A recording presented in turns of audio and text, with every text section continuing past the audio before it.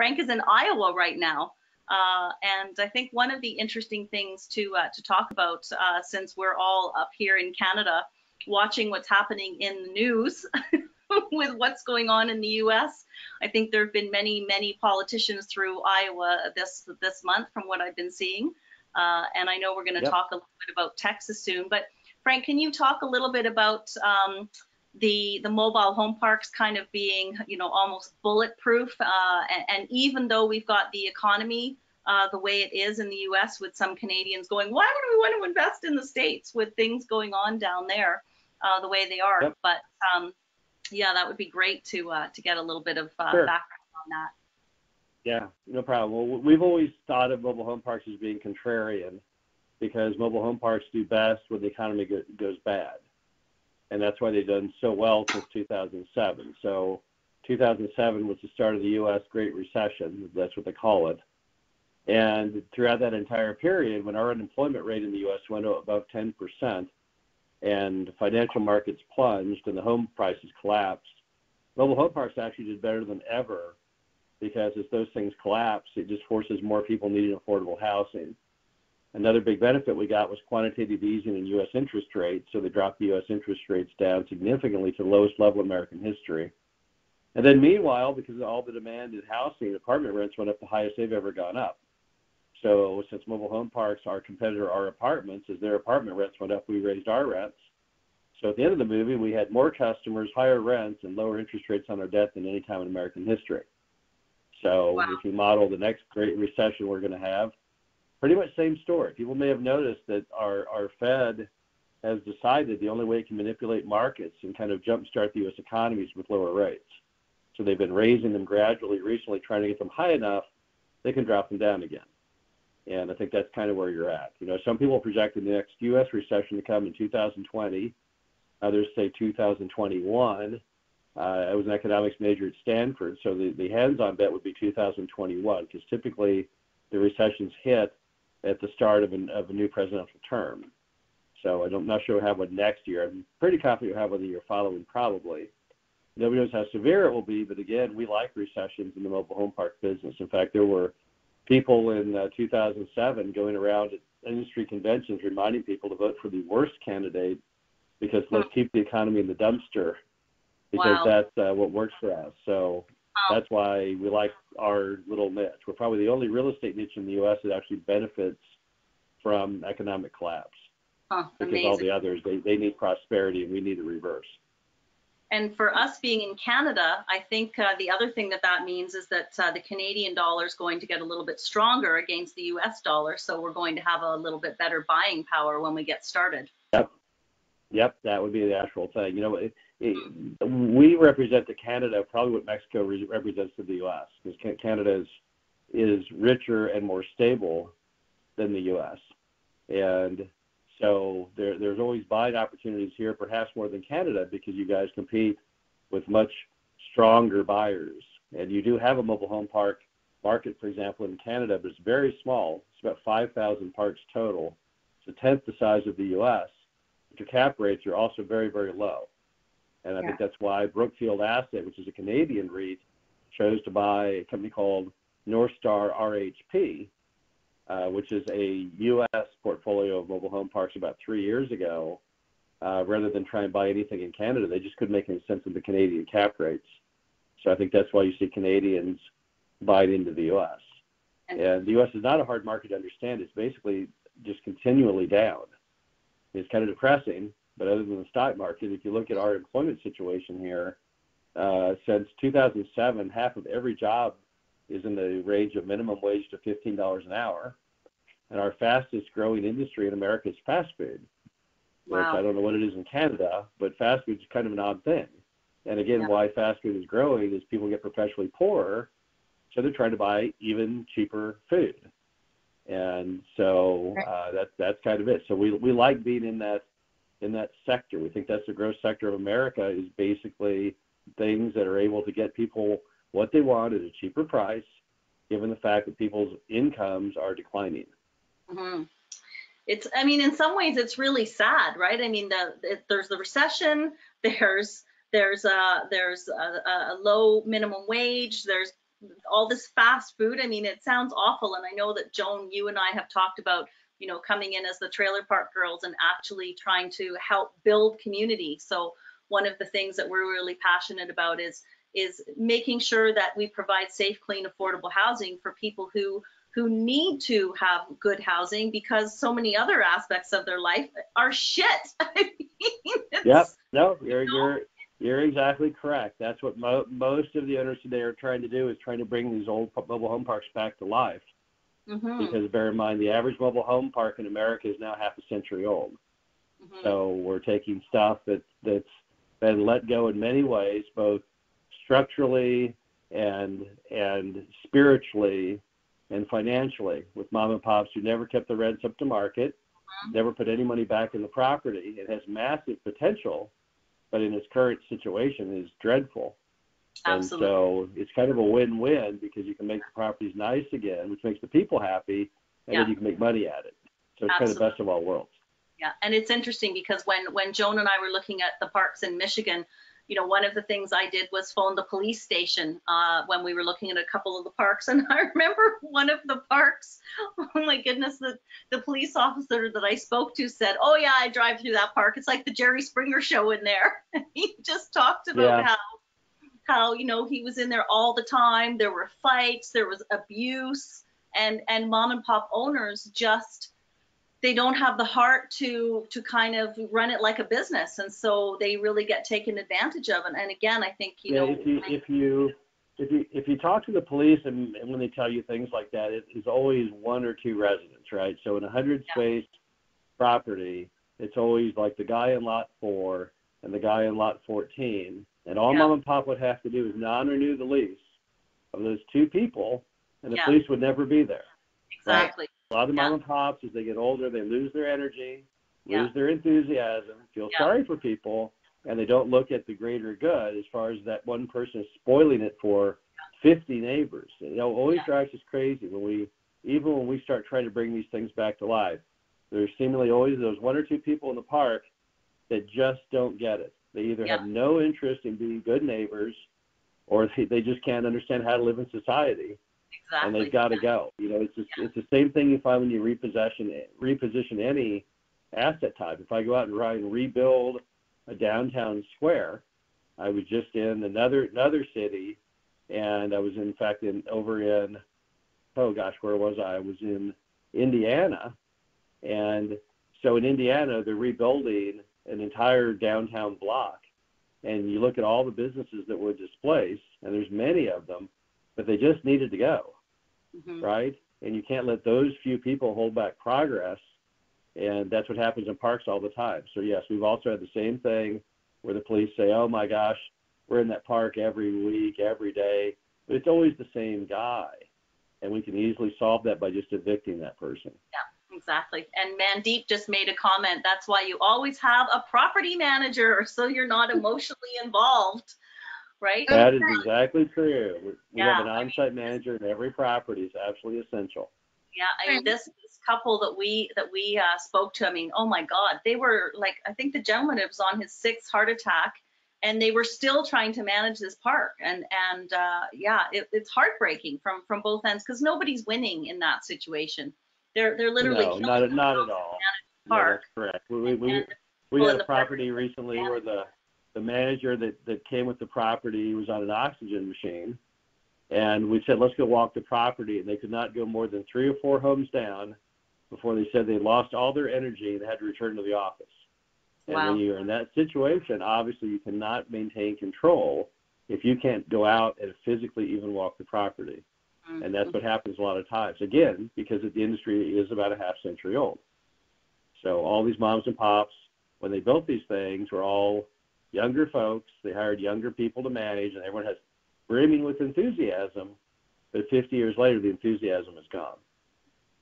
Hey Frank, when um, maybe you can touch a little bit on. Uh, I'm just thinking about the people that we have on the webinar tonight, and you know, I, I would say that the majority of them have a little bit of uh, real estate investing savvy, hence why they're mm-hmm. involved with WREN.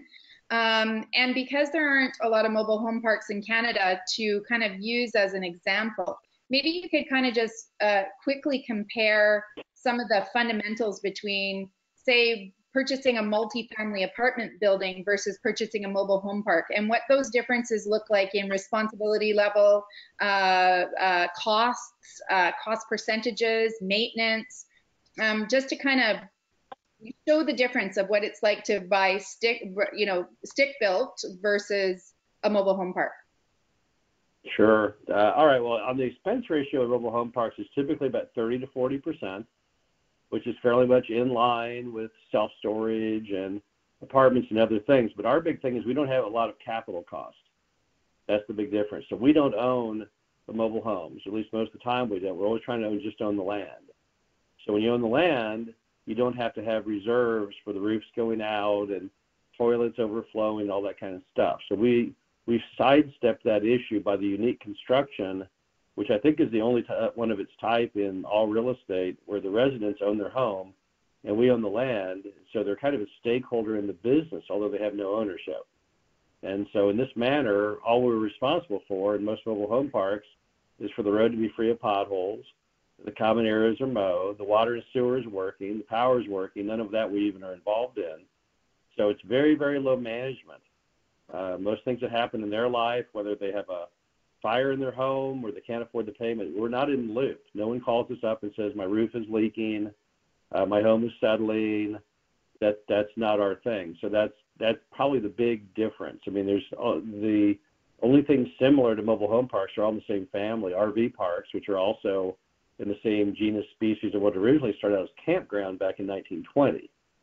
But uh, that's that's that would be the biggest difference. I know a lot of people who own apartments tell me all the time what bums them out is they feel like they're making profit, and then suddenly they have to go out and replace the roof or replace the balconies and wipes all the profit out, and then they under, they don't understand why they're even doing it. Uh, our, we're different because you never have that one big capital call. And I think that's key to why we, being here in Canada, can own a park somewhere in the U.S is because that the the constant requirement for attention or the need to be at your property is not there uh, in this asset class like it is potentially others. Um, so that's, that's one correct. thing. Yeah, most uh, most owners visit their properties either once or twice a year. So it's, it's we're extremely hands off. Now that doesn't mean you can abandon it. Then you'll be just like moms and pops. But you can manage it today with your on-site manager and technology very easily. In fact, you can manage if you if you use technology efficiently, you can probably not go visit your park ever and still be okay because the the tools are there to allow you to do that. Yeah, and it's interesting you say that when we were um, talking with uh, Tony. Remember, Joan? He had bought uh, uh, one of your uh, one of your attendees at Mobile Home University. He had bought a park. Uh-huh. Uh, and he hadn't seen it yet, and and Joan was like, "I don't think I could do that." yeah, that, I mean, I wouldn't go to that level because you'd want to see it before you buy it, right? Yeah. As far as you know, having a handle on it. But after you buy it, it is not uncommon mm-hmm. to not see them, but very, very infrequently. And if your mm-hmm. manager is good, and if your collections are good, and your property condition videos are good, and your occupancy is stable, there really is no reason to go down there because you've already seen the property thanks to HD video. There's really no reason to go down there unless you just kind of want to. Yeah, fantastic. Right really really cool it's just yeah i mean i'm going to look at a couple of places in in victoria this week and i keep thinking is that the right thing to do do i even bother yeah right family or or homes because uh because the whole mobile home park thing i mean gosh you know we almost bought that lakeview with you know 35 sites for under $600000 and i'm looking at a a house on a 10,000 square foot lot for the same price. So yeah. Yeah. Yep. No, I understand. Uh, I think it's great that you've given us some background on just the mobile home park industry. And, and I know for those people who have attended other webinars and, and seen our in-person meetings, we've, we've also talked about that. Um, I think maybe it would be great for us to chat a little bit about some of the areas that are really hot for, for investing. Sure. Um, we've certainly sure. looked in, as many people know, we've looked at parks in Michigan now. We've looked at parks in Indiana and we're adding Texas to the list. Mm-hmm. And uh, so maybe, Frank, you could kind of give us some economic insights on those three states as uh, at, for investing for mobile home parks? Okay, well, let me first break it break it up regionally. The only region in the U.S. that people find weaker than the other regions is the Southeast, which would be the U.S. states of Mississippi, Louisiana, Alabama, Georgia. Uh, those have always been at the bottom of the pile, even going back to the 1960s, because they've always been behind the eight ball on employment. And although mobile home parks are all about people who don't make a lot of money, they have to have a job. Uh, Alabama has kind of rebuilt their economy over the last two decades, and their numbers are now not bad. So the average home in, in Alabama is over $100,000, and their unemployment rate is decent. Uh, Georgia is completely carried by Atlanta. If you take Atlanta out of the mix, Georgia has all kinds of economic problems. And then Mississippi, it's hard to even name a U.S. city of any size in Mississippi. The average person can't even name one. And then Louisiana, we have Baton Rouge and New Orleans, but as we all know, New Orleans was flooded, so it's got its own unique problems. Other than that one little region, really all regions are good. Uh, we we have been extremely fond of Texas. That's where we started out. That's where my first park was. That most of Dave's parks were there. We've always been very large players in Texas. We really like the state of Texas, but we were also like really anything in the Great Plains and the Midwest has always been our forte but not that you have to even be there. The west, the West Coast is good. The Northeast is good. The only part that's a little different is the Southwest. I'm sorry, the Southeast. Southwest is also good. We have parks over in New Mexico and those states. And and just in terms of Texas, I think one of the things that a lot of again being Canadians and seeing what's going on at the border, um, I mean, I look at it and I say, if there are immigrants uh, who are going to be settled in Texas, those are potentially going to be tenants for us in the future. Um, so is it a worry uh, that there are, you know, that there's a political, uh, no, I don't want to say instability, but there's uh, there's some fighting in Texas, or does that just make you look at it and say, oh, I smell opportunity? I, I don't, yeah, I mean, the the bulk of what they're fighting in Texas over on immigrations isn't going to really impact the mobile home parks because our residents are all employed, they have normal jobs. Mm-hmm. So, uh, you know, every everyone that I know in Texas, they vet all their applicants, you have to have proper identification in order to run a criminal credit check. So I don't really think that's really going to impact. I mean, it may it may impact Class C and D apartments much worse because things where you have like four families in an apartment or something. But I don't I don't think that's going to be the big issue with immigration per se.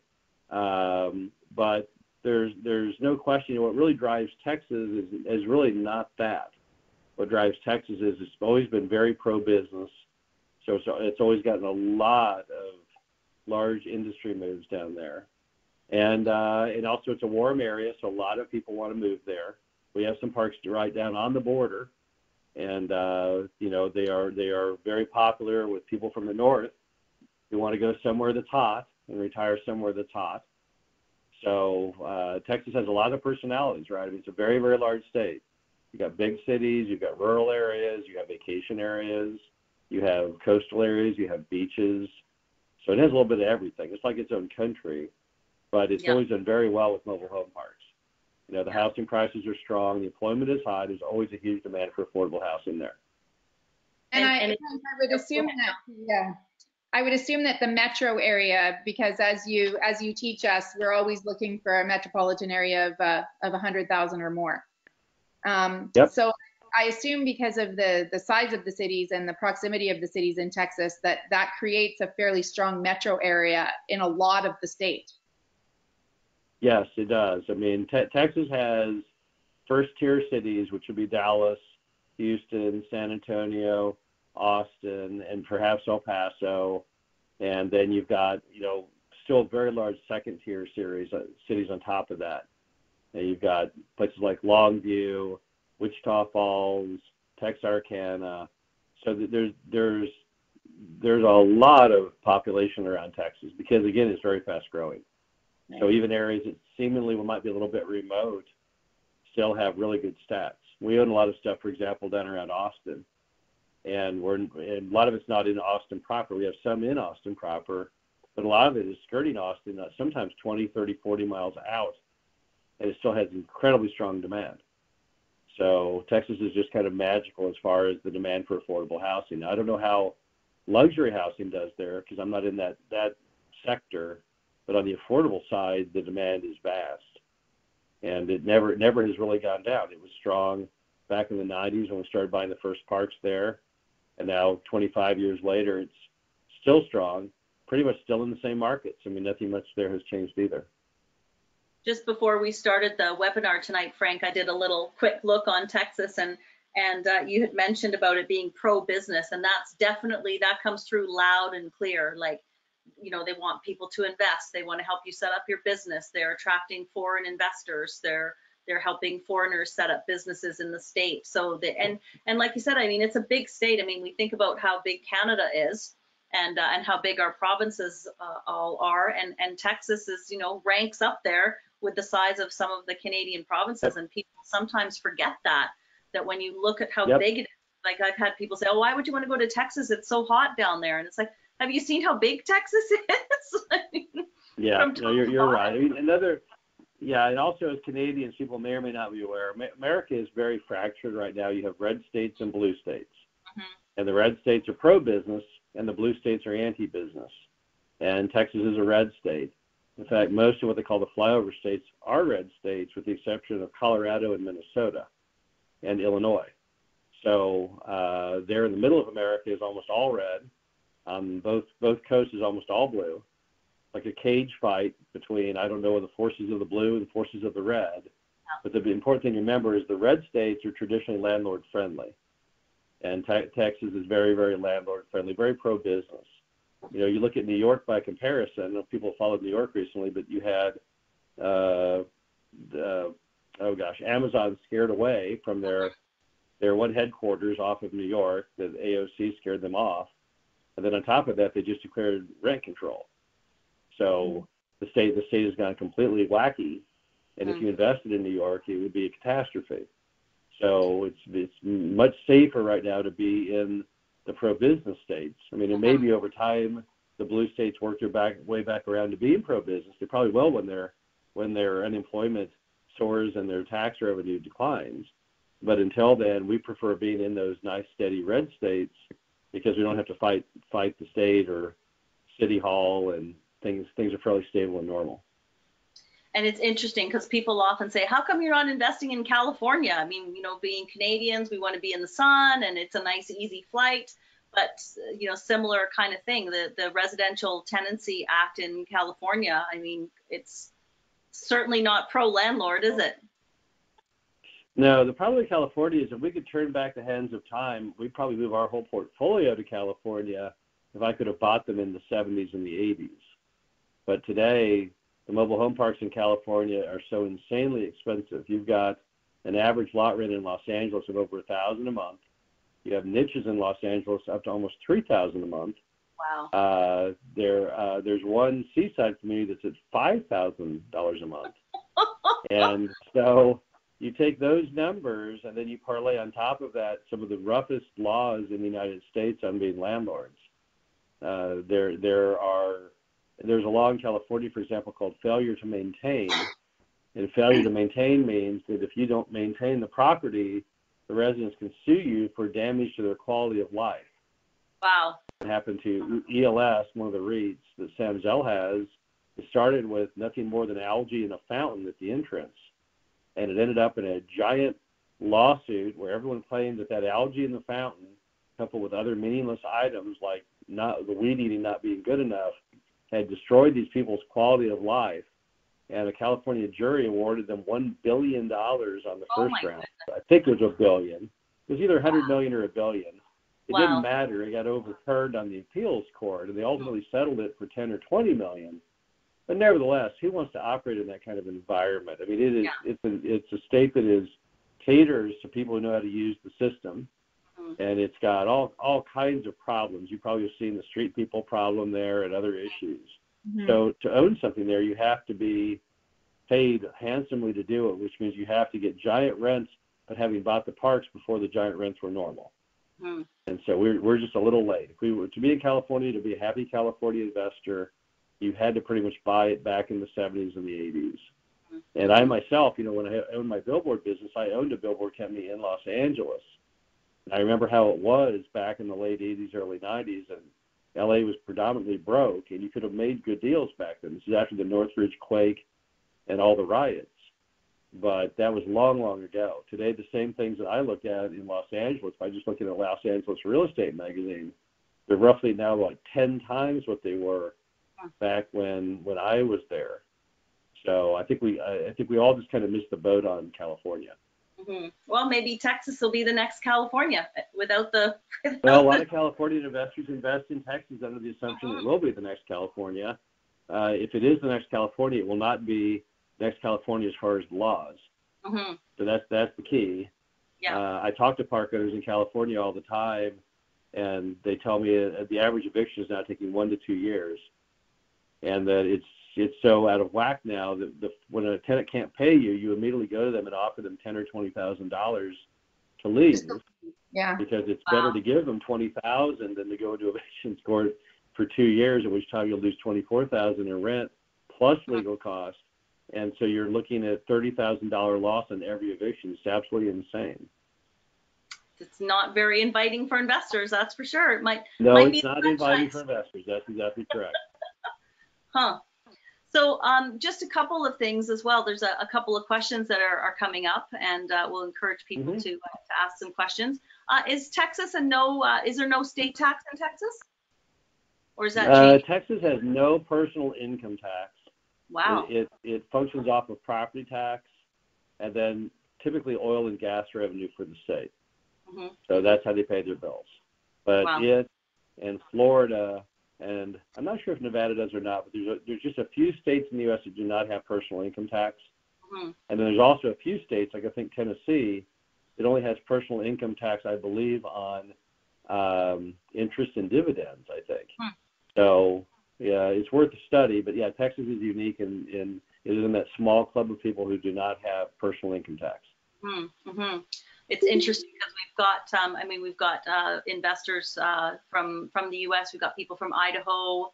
Um, where else did we have people investing from? A couple of different states in the U.S. I think we had someone from Montana and Washington, of course, being so close. So it's interesting Mhm. for uh, for them to be looking at. I mean, for us as Canadians, it's a it's completely different being invested in in the U.S. in general um, and for our, our folks in different states. They're just it's, it's easier for them but it's still interesting to learn about uh, what's Sure. happening in different states. So that's really neat. So yeah we're pretty pretty excited uh, about it. Um, can't can't wait to go down there and look at some some parks.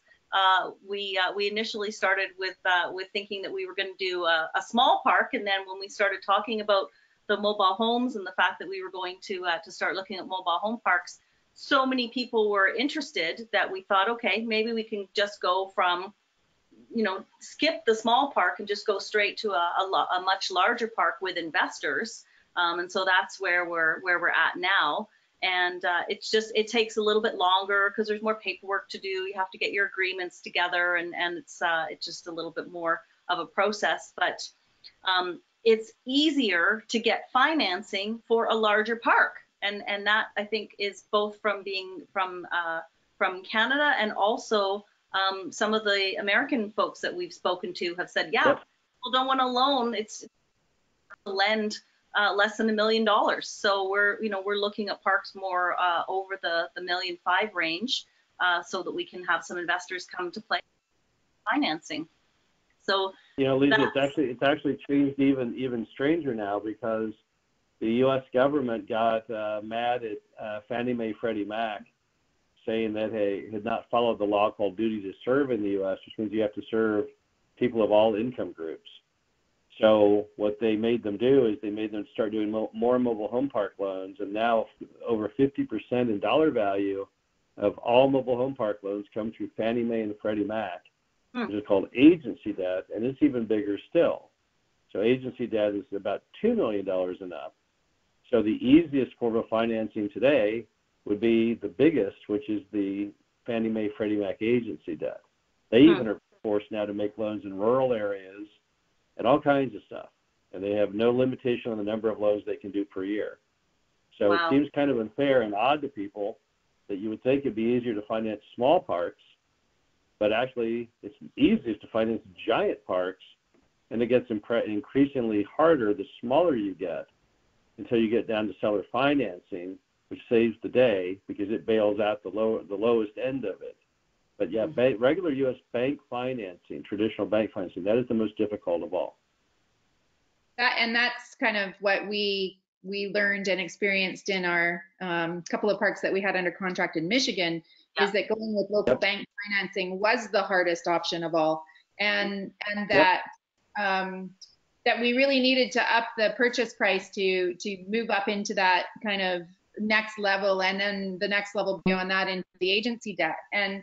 And I think that what we've experienced with, uh, and just just just for the people on the line, with the people that were interested in investing with us, they also wanted a piece of the action and um, they wanted to be a partner in this process and, and, and really be in the game with us. And to do that, you actually need to be invested in a much bigger park to produce the Yep. revenues.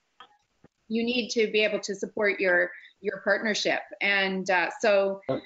everything kind of pointed us in the direction of, of abandoning kind of the smaller approach that we thought we should start off with and really going with something uh, much more substantial. And I mean, maybe Frank, you can kind of comment on the the kind of level of parks that we'd be looking at in the million and a half to two million dollar range versus something in the five hundred thousand dollar range. Sure. Well, I mean, the, the function of parks is all based, of course, on on the lot rent. So if you're looking at park in Texas, parks in Texas run on lot rent all the way from a couple hundred dollars a month to as much as six or seven hundred a month. Let's just take something in the middle there and say it's three hundred and fifty dollars a month lot rent. So if three hundred fifty dollars a month lot rent, if you if you multiply that out times twelve times 0.6 and then times ten, you're going to end up with uh, lots that are worth, let's say, in that example, twenty-five or thirty thousand dollars per lot, and you then multiply that by, you see, you have to buy a park to get a million dollar loan. You have to have a million, one point five million dollar deal. So it, it all points you to, to deals that are roughly around 50 lots and greater. Although if your lot rents are high enough, I've seen deals all the way down to 25 lots that still qualify for conduit debt. Hmm. Right. It's all a matter of your occupancy and your lot rent. Um, so there's there's in fact there's there are parks in California that are as small as as 20 lots, which are which can get agency debt, and then there are parks in Alabama that could be 300 lots and still wouldn't qualify because the rents are $75 a month. So it's it's kind of all over the map, but that would kind of give you a rough idea. You'd be looking for things that are roughly about 50 50 lots and up probably.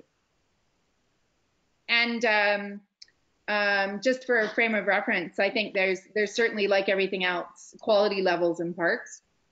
Um, and so I think we we're kind of looking in the in the B range of parks or C plus range of parks, and even those Sure.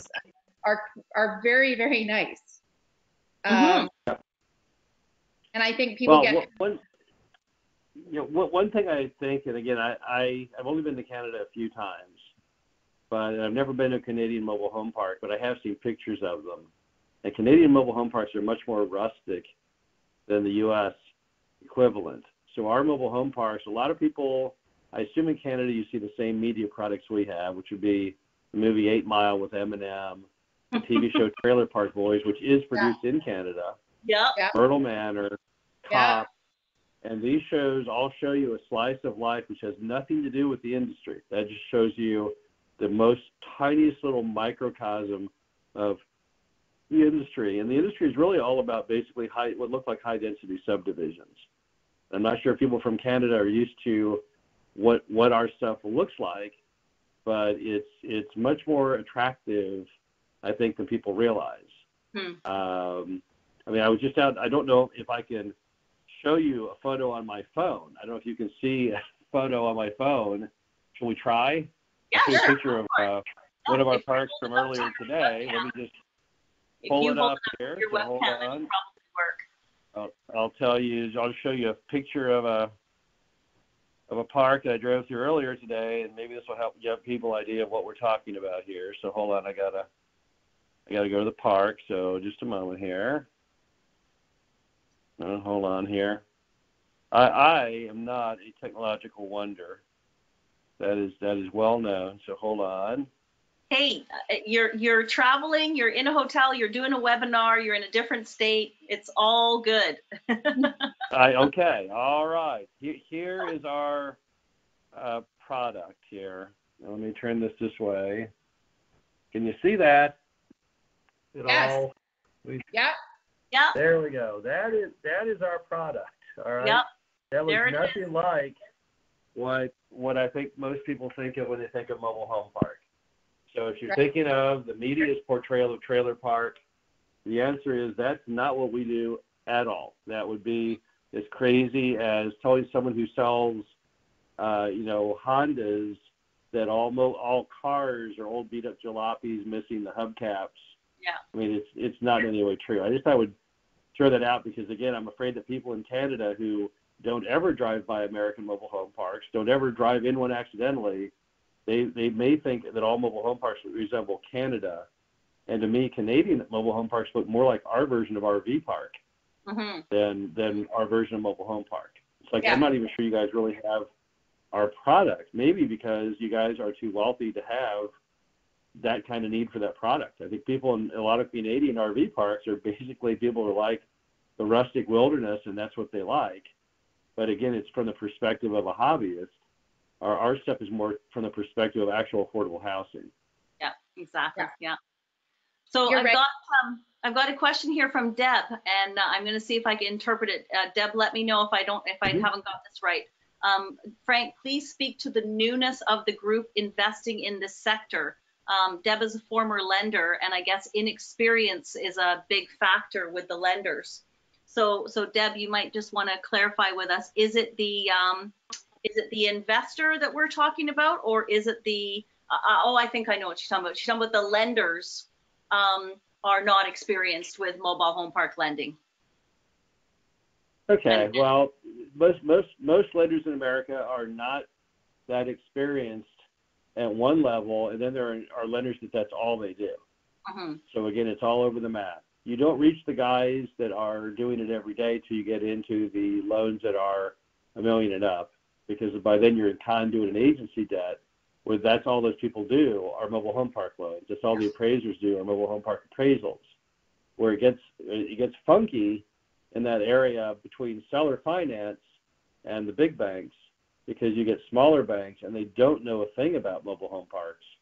And so you're often having to educate them on it. A lot of the loans we've done with those lenders came from them just willing to take a flyer on it because they couldn't figure out any way to deny the loan because the numbers were good. The appraisal came in favorably, but they just don't understand it because, again, all Americans grew up on the mobile home park stereotype. I'm no different. I mean, all, when I first bought my first park, the very first thing I knew I had to do was get a concealed handgun license and a pistol because every show I'd seen on mobile home parks showed it as being just a giant crime ridden mess.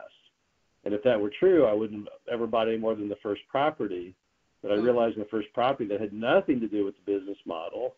Yeah. Stopped carrying the pistol, let my concealed handgun license lapse because I was more, more risk of shooting myself in the foot than I was of my tenants. I never had any issue with my tenants at all. But again, that just comes from this deep rooted stereotype. I mean, we call it a stigma wall. It's really hard for people to get over that giant wall of stigma Mhm, of mhm, trailer parks. But it was created by the media. It has nothing to do with reality. It's because the U.S. media has found that if they put the word trailer park in the title to any episode of any show, they have giant viewership jumps because Hmm. everyone assumes it's going to be nothing but sex and violence. And that's Wow. why you Canadians produce Trailer Park Boys, right? That was the whole point of the show was that every episode offered a glimpse into every form of violence and insanity known to man. But that when you feed uh, people on that steady diet, they they get the wrong idea. Yeah, And that's yeah. pretty much what happens. That, Exactly. that, the trailer, the Trailer Park Boys is certainly not a proud uh, Canadian um, heritage uh, as far as I'm concerned. Hence why we called ourselves the Trailer Park Girls, because Yeah. we really want to reframe that imagery to what that should yeah, really be. I don't I don't disagree with you, but you know I I, uh, I buy because I write write so much and write all the newsletters. I'm constantly buying all of the mobile home and trailer park specific items on eBay and Etsy. yeah. And the number one most common item is the the many books called trailer park boys. They have photo books, regular books. They are the Harry Potter of books Wow. in mobile home parks. And so And the average funny. person would look at that and go, "It must be the truth," because they're most of the books. Yeah. And I've got my I've got my trailer park necklace on tonight. My little my little RV that I think Joan you've bought a Well- blue one and I bought a red one. you know what's, what's crazy is the stuff a lot of the stuff that i buy on ebay and etsy was very proud of the industry back in 30s 40s 50s and 60s and then the media got a hold of it in the 70s and the 80s with jeff foxworthy mostly. And they suddenly realized there would be much more money in making fun of people in mobile home parks than portraying them as normal people despite the Mhm. fact that 8% of americans live in mobile homes. Yeah. so they literally And threw that- that eight percent under the bus and started this smear campaign that everyone lived in a mobile home park was a hillbilly, but it is in fact is not supported in fact at all. But if you're from Canada and have never seen our parks, you might think that's how it is. But this is not an industry built upon Jethro Bodine and and hillbilly lore. This this is based on actual normal people. Normal normal working class people who need good, safe, affordable Exactly housing. correct.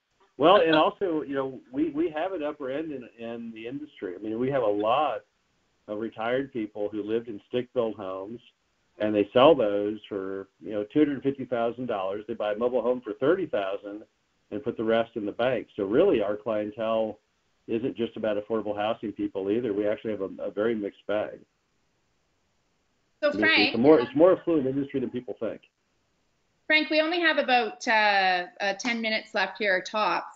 Um, I know that you and Dave, uh, I, or at least I think you and Dave, uh, utilize, um, you know, investment uh, opportunities for people that invest in your Mhm. company to build your portfolio, and that's something Yep. that Lachlan and I are looking to uh, create. Is up Sure. here in Canada, an LLC.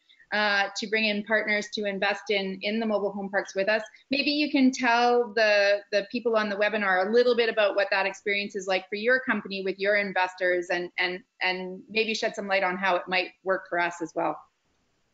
Yeah, we we starting back in 2010 realized there was a, a huge opportunity in the industry because at that time interest rates had collapsed, cap rates were very attractive. Know, so we started doing what are called Reg D 506 funds, which is something the U.S. allowed under something called the Jobs Act. It was something during the Obama era. So we started doing those and uh, you know we've we've been doing those ever since. Now we don't have any of those open today. Today we basically just refinance the earlier ones, but uh, you know it's really a win-win for everybody because it allows investors to get traditionally a you know a preferred return and a profit split. So it's really to me you know it's it's a big burgeoning part of the U.S. investing economy, uh, much to the chagrin of stockbrokers and public companies because you know other than these last brief moments with Trump as president with the stock market although not across the board I know I know it's seemingly soared but not all stocks have gone up uh, other than that one little blip most US investments have not done particularly well for people. I mean our bonds and stocks have not produced huge returns. And so a lot of people are looking into alternative investments because they realize the old fashioned stuff just doesn't work. And whether it's in mobile home parks or or pawn shops or used cars or whatever it is, people are just realizing that you got to try something new because the old stuff just doesn't work anymore. I mean, anyone who goes down to AG Edwards or any investment house and looks at the rates of return is fairly appalled. And then you look also at returns, for example, of U.S. private equity groups, which are insanely low. I, the last report I saw showed a 10-year return of four percent Wow. um, there's private equity investments of buying companies. So I've got to think the future is going to be alternative investing in real estate because at least it's asset backed. The key is you got to find the right niche. It's in the right the right spot with our U.S. megatrends because there's no, there's no way you can fight them. I mean, when our megatrends shift, it's like trying to hold back the Mississippi River. It is a losing proposition and that's what we like about mobile home parks is it seems right now to be positioned on just all the right fronts, just out of sheer luck. I mean, it isn't like when they built mobile home parks in 1950. He said, "Hang in there. One day we'll be right in the middle of all U.S. megatrends." it just worked out that way. also remember this that you know one of the first sayings anyone ever told me when I bought a mobile home park was that we serve the newlywed and the nearly dead. I know it's kind of a crude, outlandish remark, but the U.S. right now has two large populations: the baby boomers, which are those born between 1946 and 1964, which they would classify as the nearly dead based on that old timer's remark, and then the newlywed, which would be the millennials, which are actually now a larger population segment than the boomers. Hmm. So you've got just out of sheer luck right now, both segments of the U.S. population, both of the largest sections, both needing our product. It's just a one in a million luck out that that is the way it ended up. And then the fact that America declined like it did, no one would have ever seen back in the 60s when they built these, ever think the U.S. economy would collapse as bad as it has. I mean, our stats are terrible. I don't know Canadians' debt levels. We're at almost 20 trillion, so we are now the the, the most debt-ridden country in the world. Now maybe we can turn that around. I remember back under Reagan when we were at less than one trillion of debt. So I'm not sure what happened. I think it was a series of wars and just bad moves. But Yeah. now we have a huge amount of debt. We have huge amount of pensions. I think it's something like in the state of Illinois, 70 or 80 cents of every dollar is already taken by pensions Wow. right? And, and so, I mean, we are really set up for a lot of economic strain going forward. And again, that's what that's our industry is built around. Is built around trying to help people get affordable housing when times are tough. And because time, times are tough down in the U.S. when it comes to housing. I mean, our, as I'm sure you're aware, our median home value is 200,000 roughly, but that's not really accurate. That if, that's if you take all the homes and, and add them together and divide by. But you know, the average home transaction, I believe now, is 300 and something thousand, which means that if you are a, a, a new family unit starting out, you don't have a prayer of buying a home. I was actually at a conference recently that had a guy who studies the single fam- family industry, and he gave a speech that it, it is impossible going forward to build an affordable single family housing product because the average lot in all U.S. cities is eighty thousand dollars. So if you say you have to build a hundred thousand dollar home to be affordable, and you start off with an eighty thousand dollar lot, there's no way you can build a hundred thousand dollar house, right? It's, it's impossible. You actually have you have to have the government literally seize land and donate it to developers to have a prayer of hitting the affordable housing price point. And even if you hit the price point, I don't even know if those people could be financed because if you look at our standard housing financing situation, it would be very, very hard for them even to qualify. So that's that's why we like where we are because we think we're right in the sweet spot. Are there still uh, a number of states that are below a minimum wage of ten dollars an hour? Oh yes, there, there's Yeah. uh, the state I'm from, Missouri. Most most of your middle of America states are still at about 725. Wow. Now, there's no doubt there'll be movement. I think the problem is they're trying to move it up too too too fast. You can't jump from 725 to 15. That there's no way McDonald's and Dairy Queen and those people can afford that jump. You'd be doubling their people's labor cost overnight. I mm-hmm. think people were kind of assuming it would go more towards eight, nine, ten, somewhere in there. And of course, it won't pass. I mean, there, it, it's been proposed, but they're proposing crazy stuff in American Congress every day, and it never goes anywhere. But it does show that they do want to elevate that up. Although to be honest with you, people can still live fairly well in a mobile home park on minimum wage. Mhm, mhm. So even if you make seven and a quarter, fourteen thousand a year, twelve hundred a month, most of our residents are living for three or four hundred a month for housing. Yeah. So we still meet that third of, ha- of housing in a mobile home park. Obviously, you can't cut it in apartments though with that or stick built. Yeah, not like us in Canada, where what is it in Victoria and Vancouver? Seventy percent of the average person's uh, income goes to their housing costs. It's just insane. Yeah, yeah, no, that, that's crazy, and that's true in a lot of American cities as well, right? I Yeah. mean, the price per square foot in a lot of California markets is a thousand dollars a foot. Yeah. Right, in, in in Missouri, it's about one hundred and fifty dollars a foot. So we're about a seventh of the cost of California. But yeah, there's no doubt that it's a trend, particularly in in a lot of the more luxury, higher end areas, that it's a very high percent of your income. Well, Well, we're at eight o'clock, so we'll just see if anybody's got any quick questions. There were a couple of um, Sure. questions that uh, that people ask that uh, I know we have really quick, simple answers to. Um, but if anybody's got any questions while we've got Frank on the phone, we'll take uh, Frank, are you good for uh, maybe another five minutes as we wrap up here? Oh, sure. Yeah, Cool. sure, absolutely. That's awesome. And and thank you. This has been uh, really uh, fun um, to be chatting with you while you're in Iowa looking at Sure. your parks. And no uh, problem. I'm definitely excited about going to have a look uh, at Texas as soon as possible. Sure.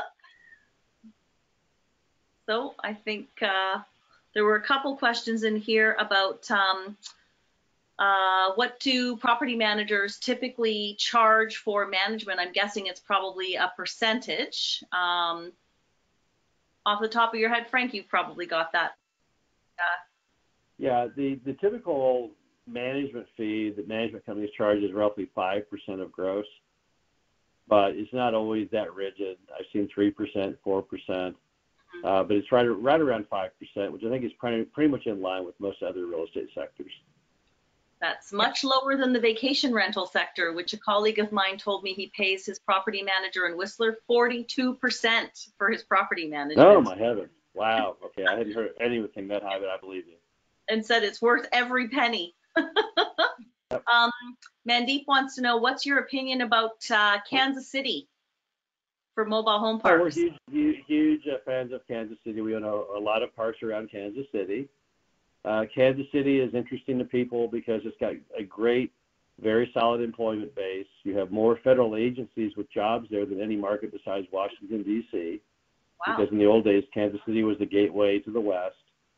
Uh, you've also got a huge amount of healthcare jobs because there's a lot of regional hospitals in Kansas City. And the reason they're there is because there's a lot of colleges in Kansas City.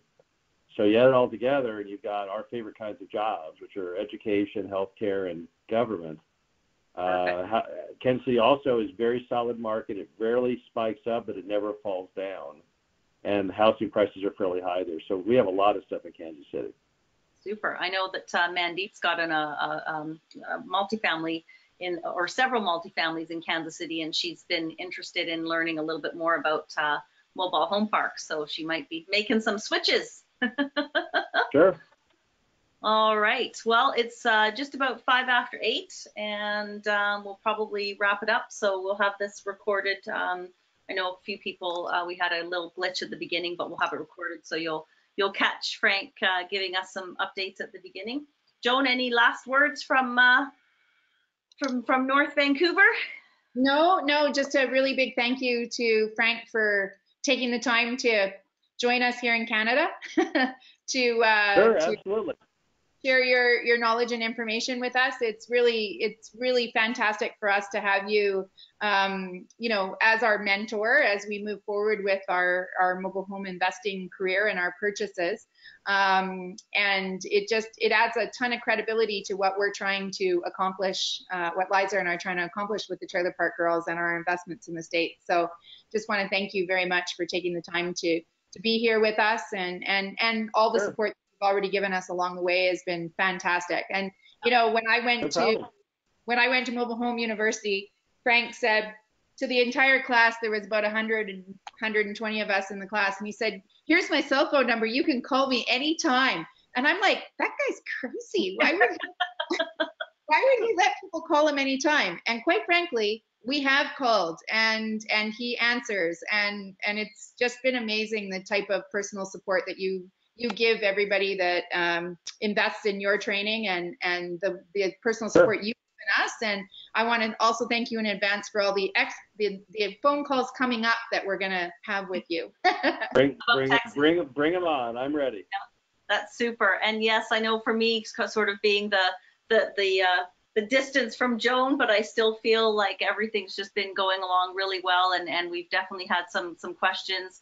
Uh, and I mean, we decided not to go with a small park. You know, a, a lot in in in fact in in sort of essence of what we learned, uh, and the fact that we were able to relay to people who want to invest that there's some better opportunities there, and and they've seen it so clearly that they said, okay, we're in show us where to put the money. so, Right. um, Sure. so we're we're excited to uh, get some paperwork done on that and move forward. And for those of you on the call, we're uh, we're just getting uh, some shareholder uh, agreements and and first paperwork uh, drawn up, and we'll be ready to go. So we'll be following up very soon and planning the trip to Texas. And uh, uh, is one of the boot camps this year. Is it uh, in Texas in December, if I remember Yes, correctly? it, it is. Right. We always do the last one of the year in Texas. This year, I think it's in San Antonio. Yeah, awesome. So I have a feeling Joan and I are going to be there. Sounds great. We look forward to it. Super. Awesome. All right. Well, thank you very much, Frank, and thanks, Joan, for uh, all the great uh, questions. And uh, thanks, ladies and gentlemen, for being on the call. And we will see you on the next one, which is in, oh my gosh, it's in two weeks, and I'll tell you about it uh, after I finish my move. Bye, everybody. Thank you. Bye-bye. Thanks. Thanks for having me. Mom. Thanks, Frank. You bet. Thank you.